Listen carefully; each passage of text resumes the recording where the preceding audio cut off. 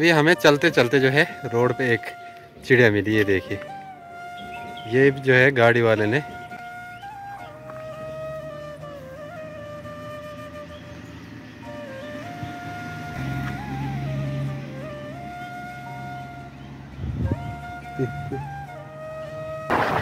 आजकल जो है, ऐसे ही किस्से देखने को मिल रहे हैं मेरे को, और हरीश भाई को। हेलो दोस्तों गुड मॉर्निंग कैसे हो आप सभी को मेरा प्यार भरा प्रणाम और स्वागत है आपका पहाड़ी भाई लोग यूके वाले चैनल में। दोस्तों, मेरा नाम है प्रवीण नोटियाल और मेरे गाँव का नाम है मिसर गाँव, जो कि देवभूमि उत्तराखंड के उत्तरकाशी ज़िले के धनारी क्षेत्र में पड़ता है।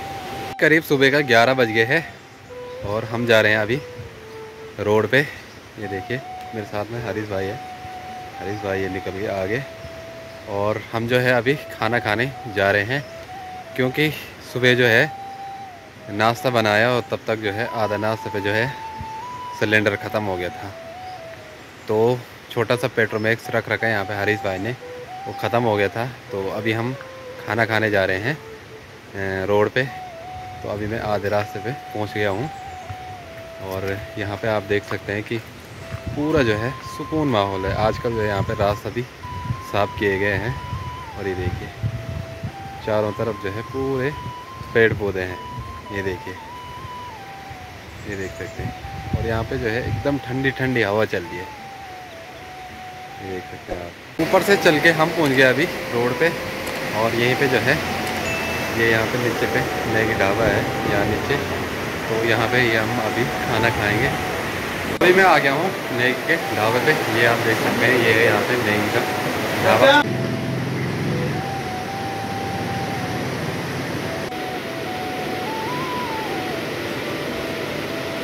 खाना पीना खा के मैं आ गया हूँ अभी हरीश भाई के फार्म के लिए।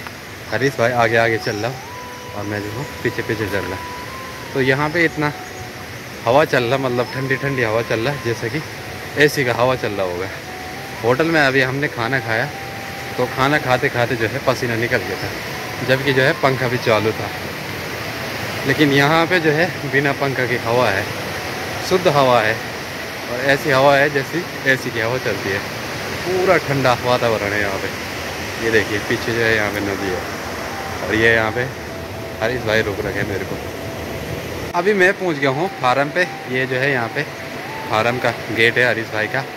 और अभी मैं फार्म के अंदर आ गया हूँ। और रोड से और यहाँ तक आने में जो है इतनी गर्मी हो गई है कि भयंकर वाली पूरा पसीना से जो है लड़तर हो गया हूँ मैं। और अभी यहाँ पे जो है, धूप भी नहीं लग रखी है, धूप भी इधर उधर हो रखी है। फिर भी जो है, इतनी गर्मी हो रही है। तो चलो, अब जो है, पहले नहाते हैं, उसके बाद में आपको मिलते हैं। करीब शाम का चार बज गया है और मेरी तैयारी है देहरादून जाने की। तो आज मैं देहरादून जा रहा हूँ और कल सुबह जो है, रिटर्न हो जाऊँगा। तो देखते हैं कितने बजे जो है, देहरादून पहुँचते हैं। तो चलो, चलते हैं। और आगे आगे का सफ़र आपको दिखाते रहेंगे कि मतलब आगे आगे जो बढ़िया बढ़िया दृश्य रहेंगे वो आपको दिखाते रहेंगे। तो चलो, लेट भी हो गई है। अब जल्दी से चलते हैं। फार्म से चल के हम पहुँच गए अभी रोड पे और यहाँ से जाना है अभी हरीश भाई ने और मैंने देहरादून।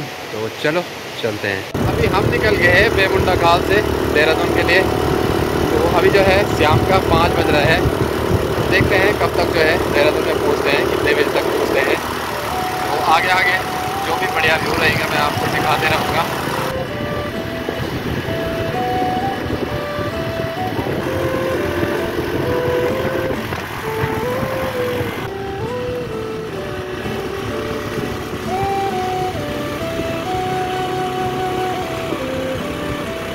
आगरा से चल के हम पहुँच गए अभी नरेंद्र नगर के पास में। अभी यहाँ से जो है एक किलोमीटर की दूरी पे जो है आगे नरेंद्र नगर है। तो चलो आराम आराम से चल रहे हम। और टाइम भी जो है छः बज गया है। तो चलो।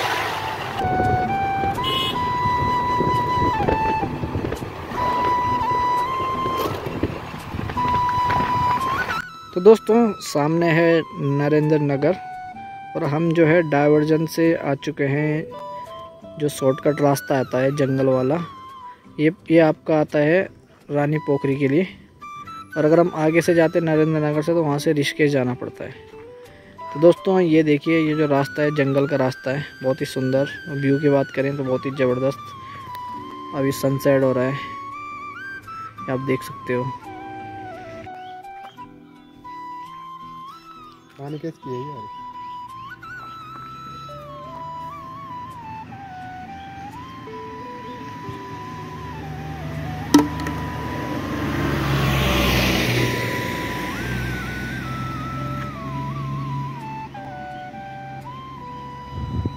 पानी का ये गिर गया मुँह में डालना पड़ता है डायरेक्ट मैंने पी रही हो थोड़ा सा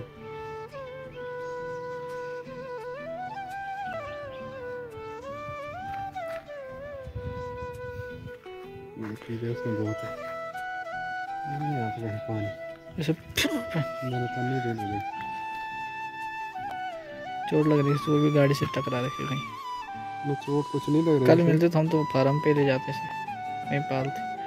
हवा हुई ना हवा में लगी गाड़ी। इतनी नहीं लगी उड़ो। हाँ सर हेलो हाँ मैं गाड़ी चला रहा हूँ ना घबरा रखी ना। तो ये हमें चलते चलते जो है रोड पे एक चिड़िया मिली ये देखिए। ये जो है गाड़ी वाले ने कुचल दी। गाड़ी वाले ने कुचली होगी या तो गाड़ी पे टकराई होगी ये देखिए, ये है चिड़िया। तो ये जो है, बच रखी है, मरी हुई नहीं है। तो अभी मैंने इसको पानी पिलाया। ये देखिए, थोड़ी देर में जो है, ठीक हो जाएगी। ये देखिए। अभी हम जैसे चल ही रहे थे, तब तक जो है अचानक में जो है, अचानक जो है, रोड पे चिड़िया दिख गई हरीश भाई को। हमने जो है गाड़ी रुकाया और गाड़ी रुका के जो है चिड़िया को उठाया। उठाते जो है पानी पिलाया उसे सबसे पहले। तो पानी पिलाया, उसके बाद में जो है छोड़ देता हमने चिड़िया को। तो इससे पहले आपने मेरी वीडियो देखी होगी, पिछली वीडियो, दो दिन पहले की वीडियो। उसमें भी जो है एक चिड़िया जो है मर रखी थी रोड पे। उसको भी हमने उठाया, उसको मैंने दफनाया था। तो ये चिड़िया भी तो टकराई होगी गाड़ी पे, या तो गाड़ी वाले ने कुलचा होगा। शायद मेरे ख्याल से टकराई होगी। तो जैसे हम आए तो हरीश भाई ने देखा उसको। हरीश भाई ने गाड़ी रुकाई तो हमने जो है उसको पानी पूनी पिलाया। पानी भी नहीं था, एक बोतल था वहाँ पे पड़ा हुआ। उसमें थोड़ा बूंदा पानी थी। तो हमने उसे पानी पिलाया और पानी पिला के जो है अलग जगह पे छोड़ दिया। आजकल जो है ऐसे ही किस्से देखने को मिल रहे हैं मेरे को और हरीश भाई को। तो ऊपर वाले ने पता नहीं क्या करम धर्म करके जो है हमें यहाँ पे भेजा है सेवा करने के लिए। तो चलो, खैर, कोई बात नहीं, सेवा भी करनी चाहिए। जो हमारा कर्तव्य था, वो हमने किया। हमारा जो इंसानियत था, वो हमने वहाँ पे दिखाई। तो आपको भी अगर ऐसे ही केस मिलते तो आप जो है उनको उठाएँ और साइड रखें, कोई भी जीव जंतु हो।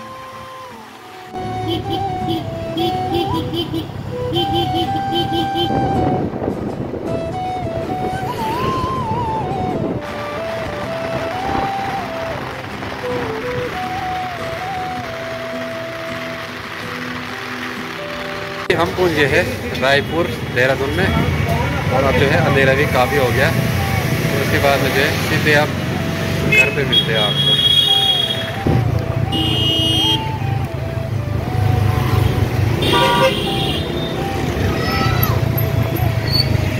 करीब रात का आठ बज गया है और मैं पहुँच गया हूँ अपने मामा जी औरों के घर पे।